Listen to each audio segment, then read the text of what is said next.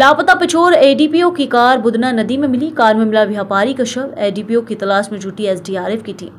शिवपुरी ज़िले के पिछोर चंदेरी रोड पर बुदना नदी से पुलिस ने एक कार बरामद की है। ये कार एडीपीओ की है। पुलिस ने कार में एक व्यापारी का शव में मिला है।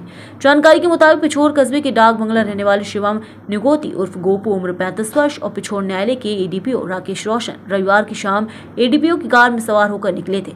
लेकिन देर रात तक दोनों घर नहीं पहुँचे। परिजनों से दोनों के लापता होने की सूचना पिछोर पुलिस को दी थी। वहीं पुलिस ने गुमशुदगी दर्ज कर तलाश शुरू कर दी थी। वहीं अब एडीपीओ की तलाश के लिए एसडीआरएफ की टीम को शिवपुरी से बुलाया गया है।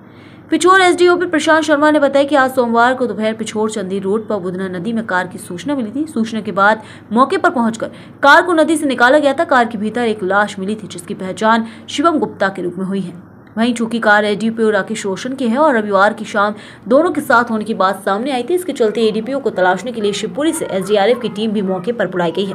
क्यास लगा जा रहे हैं कि बीती रात बारिश हुई थी, संभवतः कार किसी ग्रामीण क्षेत्र के मार्ग से नदी में गिर गई होगी और बहते हुए पुल तक पहुँची होगी।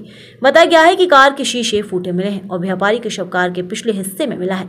लेकिन एडीपीओ राकेश रोशन का अब तक कोई पता नहीं चल पाया। कार के शीशे फूटे और एडीपीओ की लापता होना किसी साजिश की ओर इशारा भी कर रहा है। पुलिस इस एंगल से भी मामले की जाँच कर रही है।